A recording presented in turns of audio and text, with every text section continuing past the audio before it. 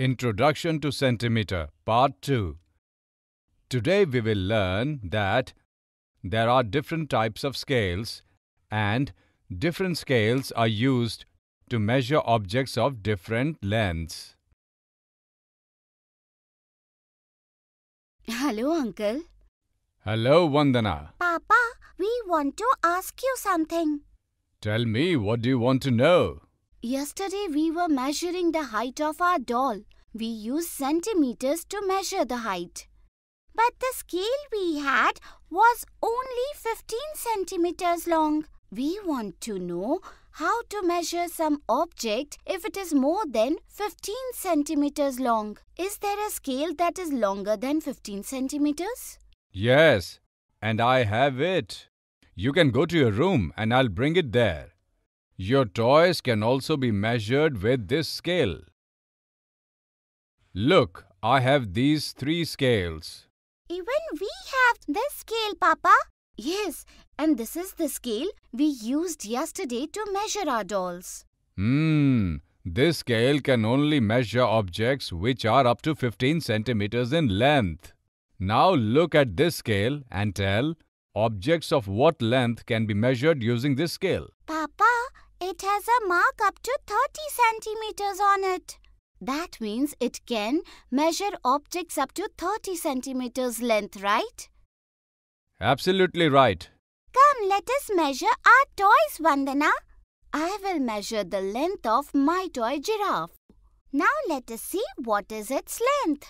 Your giraffe is 25 centimeters tall.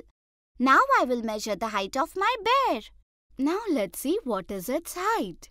Your bear is 20 centimeter tall. Can you both tell how short is the bear than the giraffe?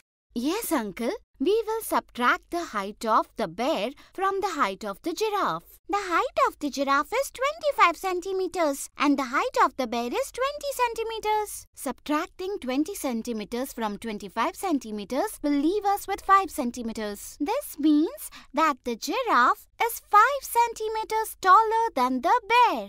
You both answered it correctly. But Papa, if we want to measure something longer than 30 centimeters, how will we measure it? For that, we will use this scale. But uncle, this scale is very small. No, this scale is very long. So long that it can measure your height. Our height? With this scale? How? To use this scale, the handle outside it has to be held and pulled.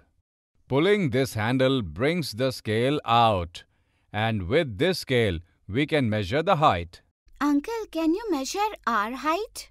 Sure, you both stand against the wall. Neha, your height is 138 centimeters.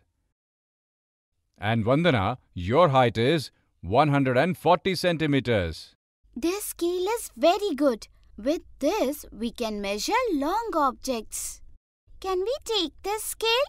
We will measure the length of more objects, Papa. Why not? You can keep this scale with you. Today we have seen three types of scales which are used to measure length. And different scales are used to measure various objects according to their length.